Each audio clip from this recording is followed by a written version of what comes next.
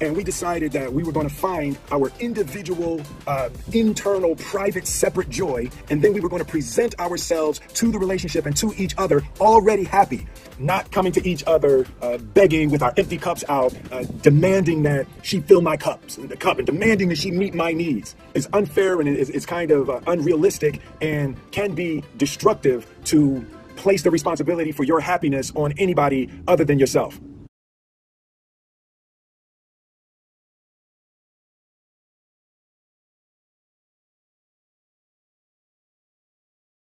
You said I changed my thinking, it changed my life. So I was wanting you to elaborate. What did you change in your thinking and how did it change in your life? So I just noticed that I can choose my experience. I can decide how I want to feel. Of course, of course, it's so much easier to say that when I'm in a good mood. It's so much easier to say that when things are going well. Of course, it's like a practice. It's like riding your bike. Something like what happened yesterday would typically keep me down for days, maybe weeks sometimes. And I noticed that, eh, like a snowball, I think I've talked about this, it, it, it will run away and create more situations with uh, more negative things and more negative thoughts and more negative vibes and more negative experiences when you think and you hold onto the one thing. It just keeps going and going and going. So i try to change the way i experience things. It's it's a silly way of getting a different perspective i guess of the of the silliness of it. But because i'm in a good mood i can laugh about it now. And of course yesterday i wasn't in a good mood about it so i had a hard time wrapping my head around it. So it's like practicing. It's like riding a bicycle. It's like pedaling in that motion right? That's what i'm saying that's why that's why it changed my life because um, I'm now sleeping in the bedroom instead of sleeping next to him and and letting him tell me how my life is and letting him tell me what my thoughts are and letting him tell me what I should do and what I shouldn't do and it's like wait a second I get a choice here. I get to choose my thoughts. I get to choose my, my, my life. I get to choose stuff. And if you don't like it I'm gonna go sleep in the bedroom because he didn't like it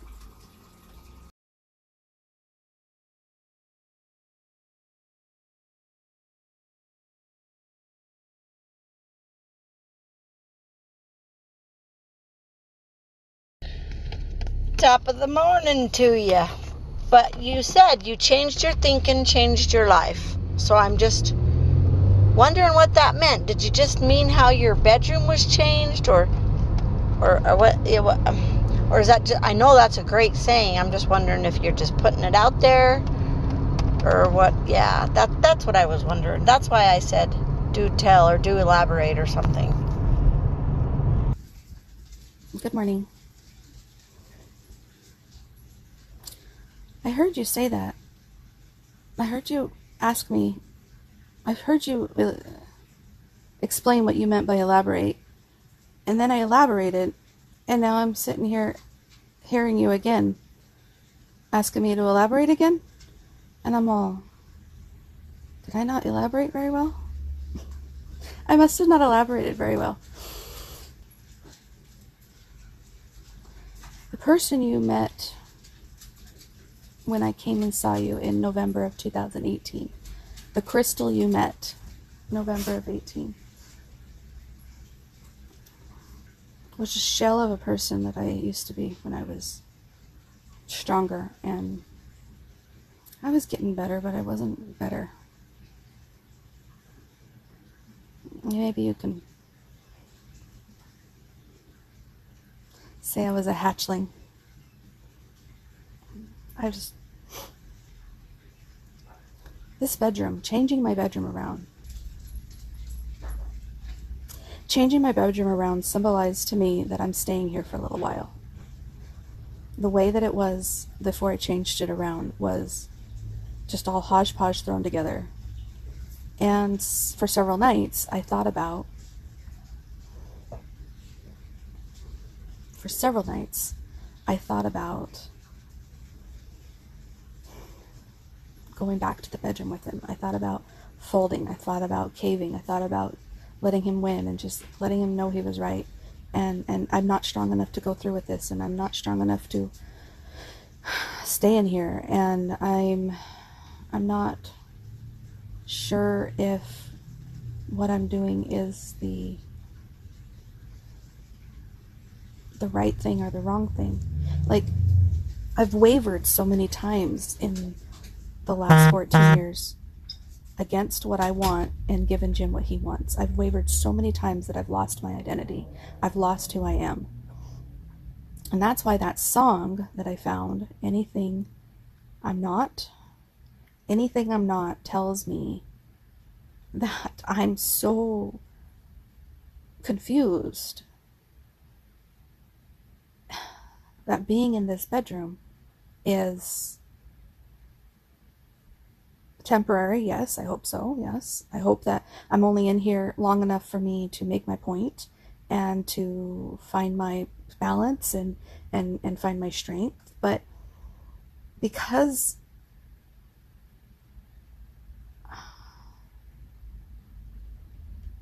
because my thinking for the better part of I don't know, let's just say 10 years. Yeah, for 10 years. It was told that I don't have a voice and I and I and I'm wrong and I'm crazy and I'm not I'm not as good as Jim is. He's the one that is going to tell me how to be and he's the one that's going to tell me how to think and he like I have relied on him for for let's just say 10 years. I don't know. I don't I don't remember when the shift happened. Because it was a very gradual process of changing my thinking. It was a very it was a very slow change. It was a very slow caterpillar changing into a butterfly. It did not happen all at once. So when I put at the end of that song, I changed my thinking and it changed my life. It was really just a reminder to myself that the the change in my thinking that I changed was that I get to choose my own experience. And when I realized that, and I think it was in 2015, 16, it was like right at the end of 15, early 16, I was graduating from IOP. When I say graduating IOP, it was called it was intensive outpatient therapy. Intensive outpatient therapy was a six weeks pro, six week program that I did um, shortly after Thanksgiving into January um, where I went to a group therapy session twice a week for a few, uh, several hours each time.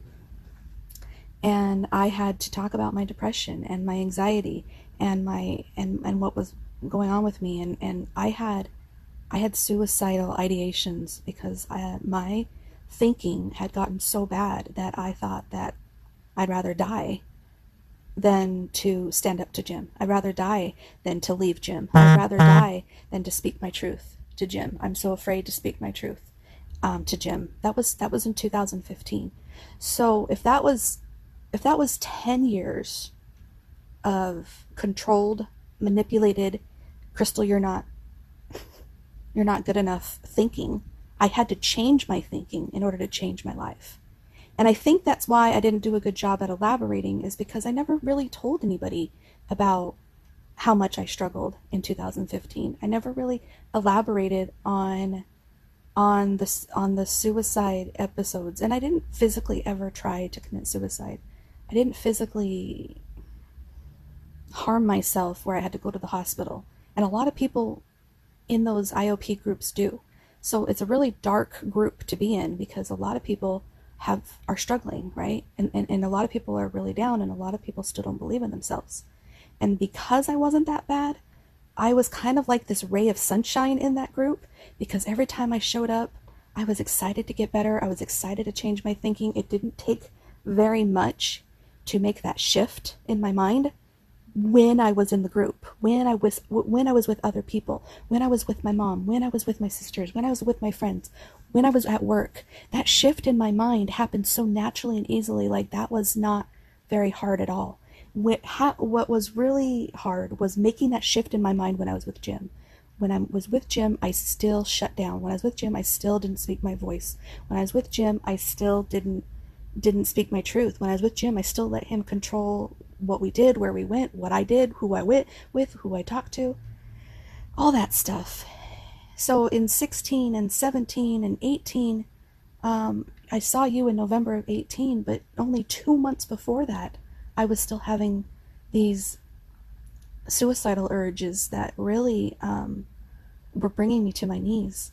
Calissa and I had made plans to go to dinner on the anniversary of Dad's death.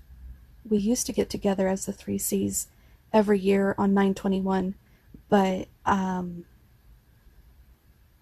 because Christopher is so different than Calissa, and Calissa can't forgive Christopher, and and I'm so isolated in my home and never see my family anymore. um, September of 19 September of 2018 would have been the 20 year anniversary and it was it was so difficult for me to recognize how isolated I was and how I wasn't doing anything to improve that part of my struggle. You know, I was getting better at speaking my truth, but I still wasn't doing all that great. I was getting better at thinking positively, but I wasn't doing it with Jim all the time. I was I was having such a hard time and then when you know, his anniversary of his death was coming up, uh, 20 years. I'm like, that should be a day that me, Christopher, and Calissa definitely get together. It's been 20 years. I definitely want to be with them. I want to be with them. And I spoke my truth to Jim and I begged him and I told him, he's like, sure, yeah, go ahead. Sure, yeah, go ahead. Let's, let's do it. Let's, let's all get together. And then we find out that Christopher and his wife isn't coming and we find out that Shafiq's not going so if we end up going out, it's going to be me, Jim, and Calissa, which doesn't make Calissa comfortable. That's weird, right? So she says, You want to just go out with just you and me? And I'm like, Yeah, that's cool. Let's do that. And I tell Jim, Jim, it's just going to be me and Calissa. No one else is going because Shafiq's not able to come. Yeah, right. Yeah, right. He's going to be there. He's going to come. You guys are, you, he's fixing, they're fixing you up on a date. Blah, blah, blah, blah. I'm like, Whoa. And because I wasn't healed, because my thinking was still like an infant hatchling at that time, I could not, would not dare go out with Calissa with just me and her. She was ready to go. Even Jim told me to go. Fine, go. Fine, fine, go. Fine. And I'm like, I'm not going. I can't do it. You're going to think I'm, no, I can't, I can't, I can't, I can't. Like, my codependency has been so bad that I cannot do what he doesn't want me to do. I cannot. Like, I could not physically go out to dinner with Calissa that night. And because I couldn't bring myself to it, it was the most difficult thing that I could do to even want to live that night. I was so mad at myself. I was so angry with myself. I was wanting to be anything that I'm not because I'm not who I think I should be. I should be able to say, Thanks, hun, I'm going to go. I know this is hard for you, but I'm going anyway. Goodbye. And I have come such a long way even since then that if that situation was presented with me to, to me today, I would handle it so much more differently, differently than I did. But I'm definitely not healed because I still struggle with all these things. I still struggled the other day when he wanted to buy a $600 stove and a $600 dishwasher. I'm now you're watching. Now I'm feeling crap. She's gonna be, she's gonna be like, what, Crystal? Ugh. But no, um, I tried to stand up to him for as long as I could, for as much as I could, and I ended up caving. And because I caved, I felt so down about myself, and I feel down about myself every time I give away my power. Every time. And so it wasn't until I had to shift my thinking and say, well, let's just pretend like you gave away your power on purpose. Let's pretend like you won. Let's pretend like that's what you wanted. Let's pretend like this is a good thing. Because it doesn't feel good to stay in this spot. This is this is your experience. How do you want to choose how to feel? And I chose, I changed the way I'm thinking, and it's changing my life. I'm getting, I'm going to choose to feel differently about things. And I've tried to choose to uh, a different way of feeling about Jim. I've tried to look at him as someone that's just hurting and just struggling and just having his having his temper tantrum because his parents spoiled him and and and he doesn't know any better way of being. I've tried changing the way I think in that regard so that I could change my marriage, but it doesn't fix it. He still thinks he can control me. He still thinks he can demand his way. He still thinks he can accuse me of cheating or going to cheat on him or going to leave him or going. So I have to take a stand in another way. I had to go into this bedroom. I had to look at this situation as it's not going to be fixed anytime soon. So I might as well change my room around. I might as well change my room around and make it more enjoyable to be here. And yeah, I am trying to be anything that I'm not. And I'm changing my thinking so that I can change my life. I had to stop looking at myself as the way Jim looked at me in order for me to change my life. And that's a hard one because it's like Stockholm syndrome. If you've looked up that and what a what a what a kidnapped child goes through, J.C. Doug Duggan Doug Duggar, Doug Duggar. What's Duggan? What's the name? J.C. You know what I'm talking about. That that that J.C. girl that got kidnapped, and she ended up having his kids, right? If you look at the Stockholm syndrome definition, that's what I basically have, where you feel trapped, you feel like a prisoner, you feel like you were, you're not, you don't want to be there, right? And even if JC had an opportunity to cry for help or to ask for help or to run away, she can't because she has been there for so long that she identified with her captor. She understood where he was coming from. She sympathized with him. She had his children now. She knew there was no hope for her to escape. She knew there was no rhyme or reason to to to challenge him. It wasn't going to go anywhere. She probably tried and it, it failed before. She, she she her mind your mind goes into this into this warped way of thinking because you've been told you're wrong for so long that you don't know what's right. But because I'm changing the way I'm thinking and recognizing these bad patterns. I'm watching videos. I'm I'm understanding what emotional abuse is. I'm learning. I'm going to therapy. I'm growing, but it's a small step a day. It's a, a, a like a like a snail pace from caterpillar to butterfly. I'm still in my cocoon. I'm just now in my separate cocoon. Am I making any sense? Anyways, um, I was thinking last night as I was going to bed. I was like, so what would make me finally just say I'm done with you, Jim? What would finally make me just leave the relationship. And I recognized that somebody would have to physically force me to leave, and I would never be able to come back. I'd have to be kidnapped from here. In this state of mind that I'm in right now. If someone physically rescued me, if somebody physically rescued me from this relationship and and and took me away and I could not make it back here, That'd be the only way I could physically leave. So I hope this isn't so dark that it's like, wow, you know, or or or I don't want anyone pity or I don't want, you know, I don't I don't need validation, you know, like it. I'm not trying to ask for anything. I'm not expecting anything. Is what I'm trying to say. I'm I'm saying this as my truth because I recognize you asking me again this morning tells me I really didn't elaborate. I told her about the changing of thinking and and I don't know. What did I say? I don't know if that meant, meant anything, but I guess I didn't. You didn't really know me. Know me. In my in my captive state, in my in my in my dark times.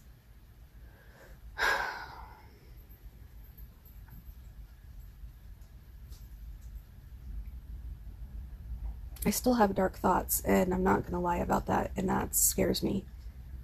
Um, and I, my kids mean everything to me. So of course that's why I've never done anything. I've never even attempted to do anything.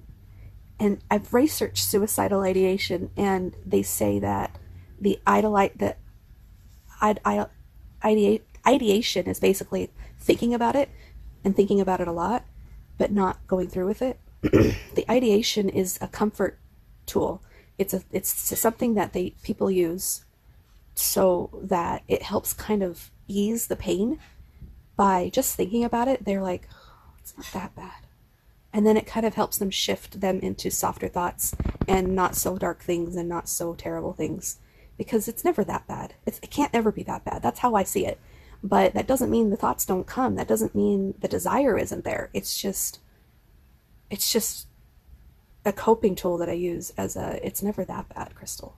Jeez. And of course, I think about all the consequences. I think about, you know, similar things to what Grandma Jean has said that it hurts more people than it does any good. That's definitely what suicide is. But divorcing? No, there's situations when people should get divorced. I'm not sure if my situation calls for that because I still don't want to get divorced. Like I said, I still can't physically leave him. Me physically coming into this room has been the most difficult thing I've ever done. The most difficult thing I've ever done because it goes against everything that he wants me to be. It goes against everything he wants me to do. And I'm doing it anyway. So I'm fighting my inner strength. I'm fighting my voice. I'm fighting my my power and choosing when I have it and when I want to give it away. And and that is just in itself like growing a wing of my butterfly wings. It's like, whoa, what is that? That's awesome. Sorry, I'm being really long winded this morning. I'm just sharing with you because I don't think I've ever put it in words like this before, except for my therapist who knew, and um, Jim. Jim's known. Jim's known all the crap I've gone through, and even though he knows I'm struggling with with this, he doesn't choose to understand it. He doesn't choose to look at his behavior or his actions, and he doesn't choose to fix anything. Well, he didn't until now. Until now, he's really serious. Until now, he's he's listening to audio tapes and and he's being open minded because he wants me back in there. He wants me back in that room. He doesn't want me moving closer and closer to the door. But he's known that I've been moving closer and closer to the door for a while. He just thinks it's for another man. no, honey, it's not for another man. Anyways, I, I believe he's a good guy. I don't think he knows what he's doing.